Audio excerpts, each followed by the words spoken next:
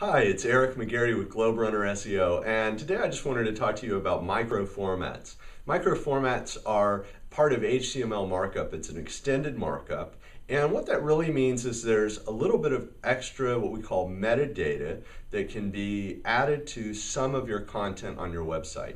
Now, here's what's really exciting about micro formats. Today, uh, Google and the other search engines, Yahoo and Bing, but particularly Google, is starting to incorporate those into search. And what they're really affecting most is the search results. So when you, not where you are on the page, but what your result looks like is one of the major areas that a micro format can affect. And there are very specific things that you can add micro formats to. One of the big ones is events. So if you have an event with dates and times and places, there's very specific formats that you can add and tag around the dates and times to tell the search engine, hey, this is an event, here's the dates and times. And Google's moving more and more towards a, a time sensitive, real time search. So having events that are searchable, that you're tagging and saying, look, this event is happening tomorrow, Google's going to pick that up and display it and say, wow, here's an event, and it'll actually display it in the search result. It'll display the times of the event and the place. Um, there's a couple other things we can micro format. So events is one thing. Contact information is another good one that you can add micro formats to.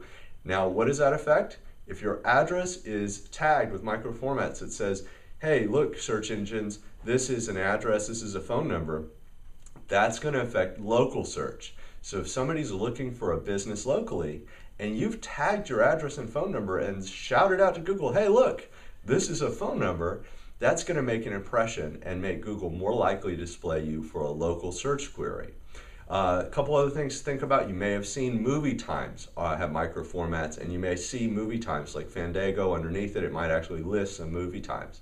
Um, menus for restaurants can be tagged up in micro formats. Um, uh, a couple little things like that. So it's it's very specific. There's only about a half dozen to a dozen different things that you can tag with micro format. So it's not all the content on all your pages. But if you happen to have this specific type of content, tagging it lets Google know this is what this content's about. And without even clicking on your website, Google may display this extra, extra information in your search result and giving you a larger presence in the search results page, which will give more likely that somebody's going to click through or see that content and get what they need uh, from your web page. So this was Eric with GlobeRunner SEO. This, I hope this post was helpful on micro formats.